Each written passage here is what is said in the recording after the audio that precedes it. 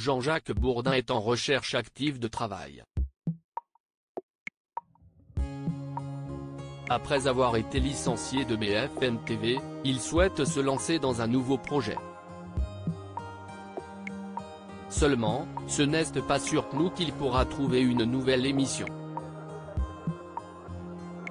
Pourtant, selon un de ses proches, il aurait affirmé qu'il pourrait trouver une place chez le concurrent de BFM TV.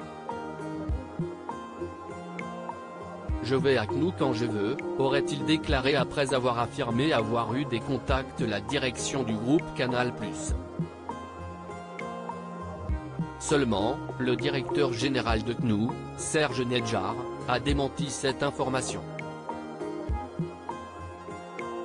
Il a pris la parole dans les colonnes du Parisien, lundi 4 juillet 2022, et n'a pas hésité à claquer la porte aux journalistes.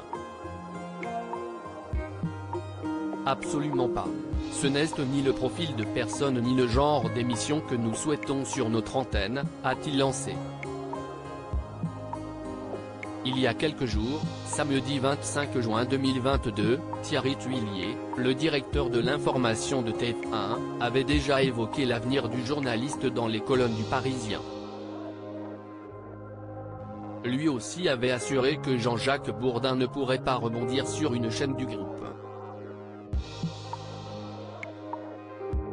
Jean-Jacques Bourdin ne pourra pas non plus rebondir sur TF1 ce n'est pas un jugement de valeur sur sa situation personnelle, mais comme nous souhaitons privilégier les talents maison, la question ne se pose pas, avait-il lancé.